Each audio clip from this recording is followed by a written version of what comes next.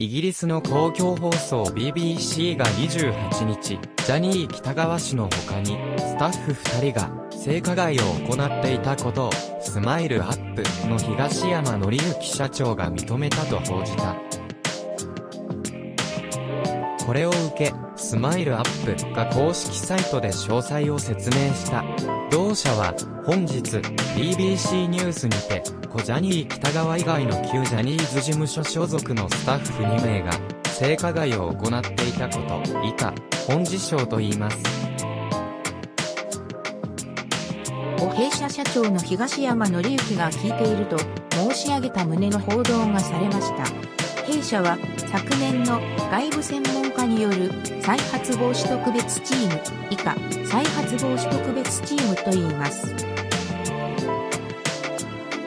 の調査の時点で本事象を認識しており、当該2名について再発防止特別チームにもご説明済みですと説明。